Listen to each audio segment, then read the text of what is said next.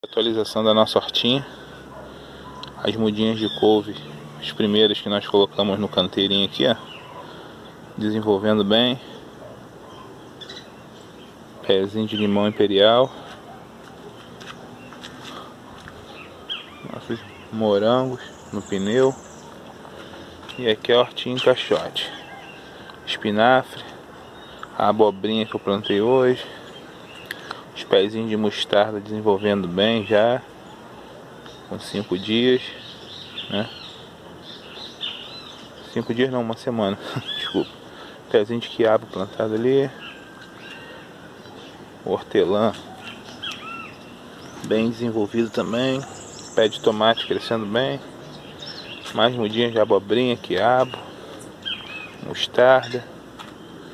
Mais couve peixinho da horta,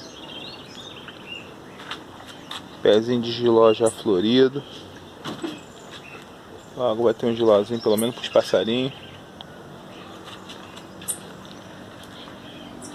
Saco de terra aqui, eu vou plantar aqui umas batata doce, tentar.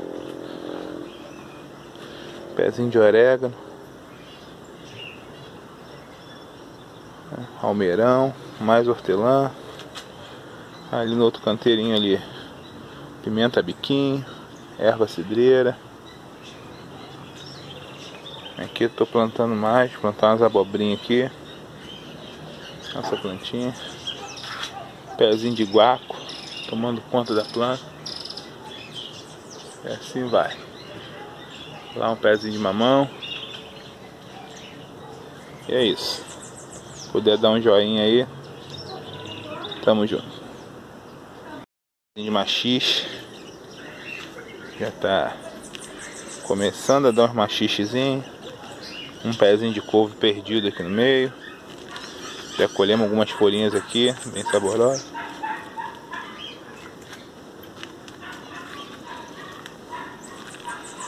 Pezinho de inhame